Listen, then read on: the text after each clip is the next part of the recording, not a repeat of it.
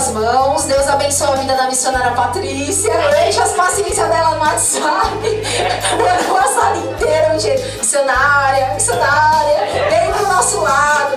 Glória a Deus, amém. Estou muito feliz que você veio pra cá. Nós estávamos esperando você. Todo mundo perguntando das meninas. As meninas não vai voltar? As meninas vão voltar? Deus abençoe grandemente a vida de vocês. A sua filha também, né? Que bênção, louva muito. Glória a Deus. Vai voltar no próximo culto. Volta aí pra louvar também, amém? Tem mais um, hein? Tem mais um? Ah, traz as, as quatro. Quatro, é, nossa, traz as quatro, amém? Traz as quatro para louvar. Deus abençoe grandemente a vida de vocês, o ministério.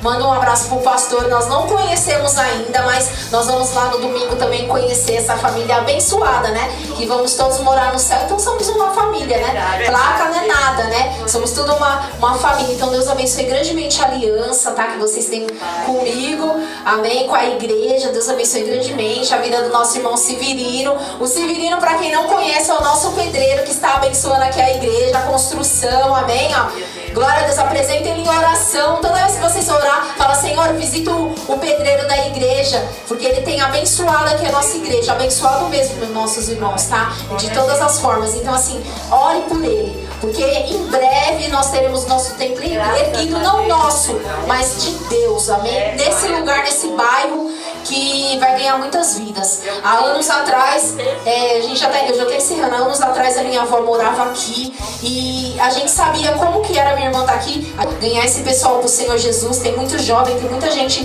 necessitando da palavra de Deus, amém? Então apresente, apresente a imunar, apresente a construção nas orações de vocês, amém? Deus abençoe grandemente a vida do seu Severino, do Leno também nessa hora com saudade. Leno levou a missionária lá pro outro lado, a gente tá morrendo de saudade, amém?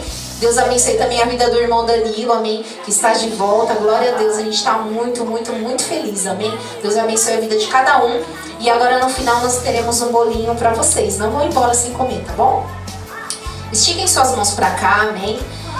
Que o grande amor de Deus, que a graça do nosso Senhor e Salvador Jesus Cristo e as doces consolações do Espírito de Deus seja sobre todos vós, desde agora e para todo sempre. Todos digam. Amém. Cumprimente seus irmãos, a igreja, cumprimente os visitantes lá, as meninas. Amém? Deus abençoe.